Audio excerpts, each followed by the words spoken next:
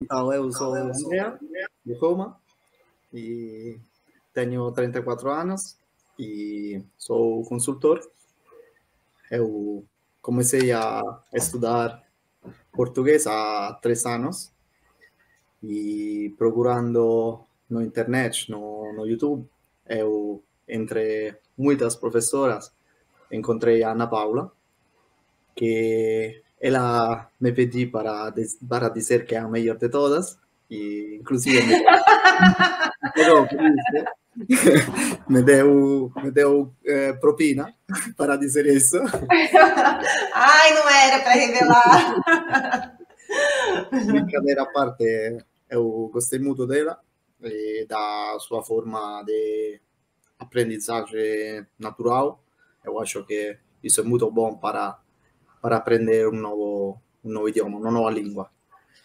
Participando dos bate-papos que, que ela organiza, que também é outra forma natural de, de aprender um novo, uma nova língua.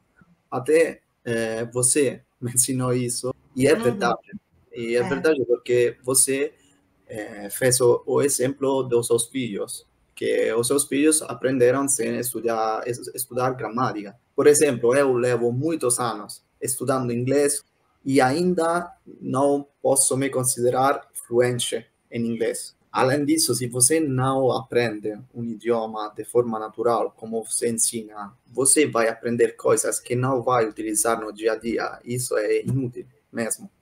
É. Então, embora foi a forma em que uh, os professores eh, me ensinaram a mim na escola, eh, isso não não citou de nada.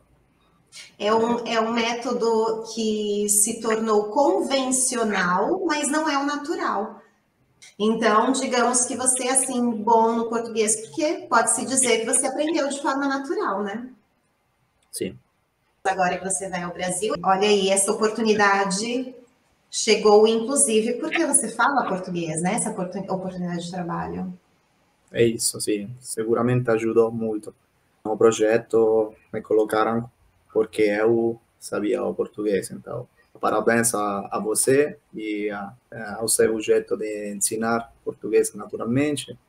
Eu é, tenho que agradecer você.